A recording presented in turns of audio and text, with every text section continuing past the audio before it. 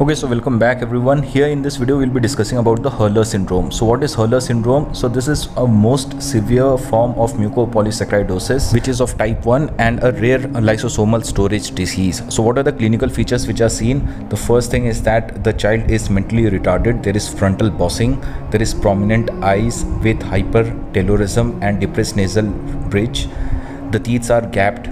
There is gingival hypertrophy and thickened tongue okay? So apart from this we also see that there are many changes like hepatomegaly there is cardiomegaly splenomegaly.